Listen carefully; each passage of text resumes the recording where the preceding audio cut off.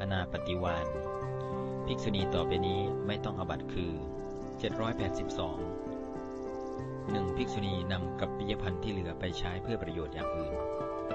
2. ภิกษุณีขออนุญาตเจ้าของก่อน จึงนำไปใช้เพื่อประโยชน์อย่างอื่น